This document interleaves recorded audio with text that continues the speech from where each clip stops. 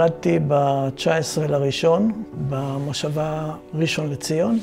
למדתי בתיכון בגימנסיה הריאלית, ולקראת הצבא נרשמתי והתקבלתי ללימודי פיזיקה במסגרת העתודה הצבאית, אבל אה, לבסוף ביטלתי את ההרשמה ועשיתי צבא רגיל והחלטתי שאני אלך ללמוד בבצלאל. הגעתי לבצלאל מיד אחרי אה, מלחמת יום כיפור. שם מתחיל המסע שלי עם האומנות. כמו אז וגם היום, אני לא רואה אה, הבדל בין אה, מדעים ואומנות. עד היום גם לא ברור לי אם המדע הפסיד והאומנות הרוויחה דרך ההחלטה שעשיתי. במסגרת הלימודים בבצלאל נפתח גם הסינמטק בירושלים, ומצאתי את עצמי מבלה בו הרבה מאוד זמן. לו היו אז אה, תנאים נאותים, יכול להיות שבעצם הייתי הולך ללימודי קולנוע. אבל בסוף מצאתי את עצמי אה, צייר. תחילת העשייה שלי הייתה בעשייה פיסולית. תצוגת הגמר שלי גם בבצלאל הייתה תצוגה של מיצב פיסולי מאוד uh, גדול. לאחר מכן נוסד בפארק הירקון מבנה חדש לאומנות, והוא היה אמור להיות הסרפנטיין המקומי. פנה אליי ראובן ברמן, אוצר של הביתן הזה, הוא ביקש אותי לפתוח את הביתן בתערוכת יחיד שלי. זה היה די חריג בזמנים ההם, שרק סיימתי את הלימודים. בניתי שש עבודות של מה שאחר כך יהפוך למחזור הקאבות. שמתי רמקולים עם טייפ, ובו קלטת של אה, המואזין, שבשעות המתאימות שירת המואזין הופנתה לרחבי הגן. זמן קצר אחרי כן קיבלתי מקרן שרת מלגת לימודים לשנתיים לניו יורק. כשחזרתי לארץ, עמדה השאלה איפה אני מתמקם. וכמובן שהאפשרויות היו או בירושלים או בתל אביב. החלטתי להישאר בירושלים, אני מאז ועד היום שלם עם ההחלטה הזו של לעבוד ולפעול בירושלים.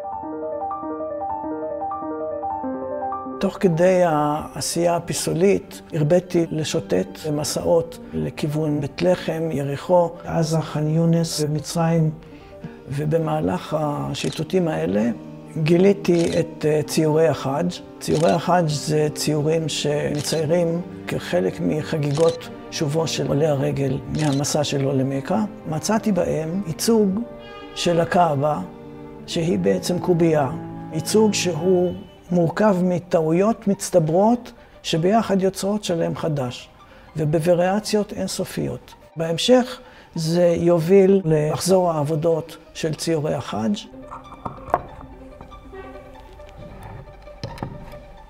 ככה. העבודה שלי מתאפיינת במחזורים מקבילים שמתפתחים בהמשך. מחזור איננו מוביל למחזור חדש, אלא הם עובדים במקביל והם עסוקים בדברים שונים. אבל ביחד המחזורים בונים עולם אחד מצטבר. בכל מחזור נפרד, נקודת הפתיחה של המחזור ידועה, אבל אין לו נקודת סיום. כל מחזור שונה במניפולציה ובהמצאה הציורית שלו ממחזור אחר. יש מושג ואובייקט שנקרא אבן חלימה, dreamstone, חתכים של אבנים שהחתך שלהם הכיל בתוכו צורות טבעיות שיכלו לעורר אה, נופים נשגבים, והיו בעצם מושא להתבוננות ולקונטמפלציה. האבן נראית פשוטה, ואז יבוא הקסם.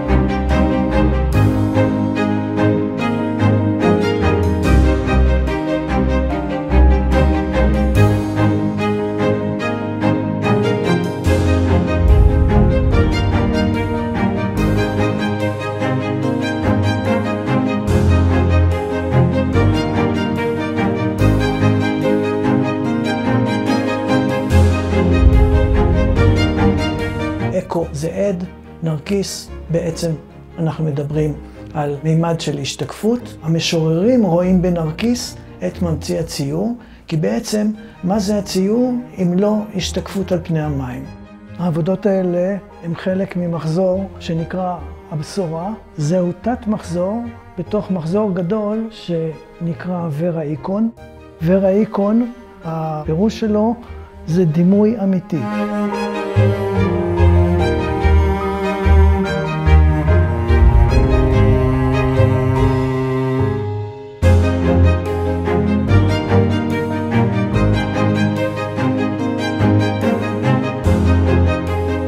שאולי משותף לחלק מהמחזורים, יצא שזה המקומות הכי חומקים. מקומות כמו עד, כמו צל, כמו השתקפות. זה כבר לא הדבר עצמו, זה רק העקבה שלו. ומשום מה מצאתי את עצמי מרותק תמיד לסוג הנוכחויות האלה, והרצון ליצור הופעה שלהם בציור. ללא השתאות לא מתקיימת העבודה.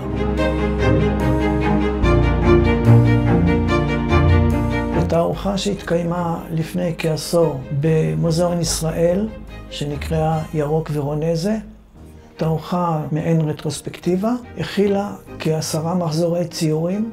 מחזורים עורבבו ושולבו בינם לבין עצמם, כמעט ללא תיארוך, כדי ליצור ביחד סימפוניה מצטברת בחלל.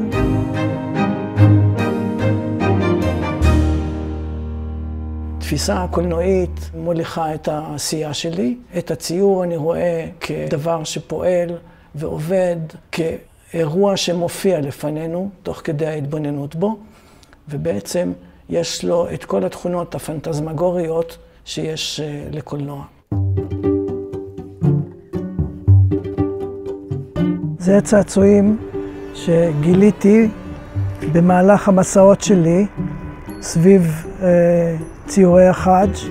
הם נעשו על ידי ילדים בכפרים באזור חברון, וכל אחת הייתה פיס בפני עצמו, ומתישהו הרגשתי שהייתי שמח אם יהיה לי אחת מהמכוניות האלה.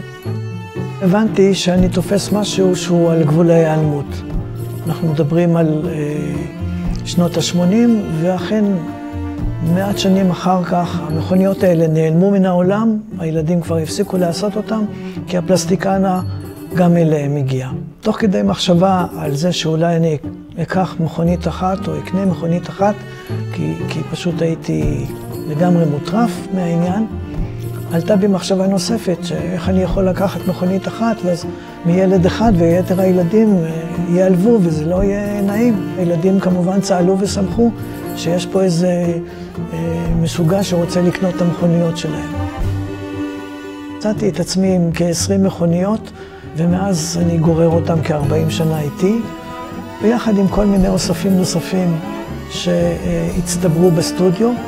חלקם מלווים את העשייה שלי, חלקם קשורים לאהבה שלי, שהיא מאוד גדולה, לכל התקופה של תחילת הצילום והפרה-קולנוע, שיש בהם את הקסם שאני מחפש, ואני מקווה מוצא באומנות.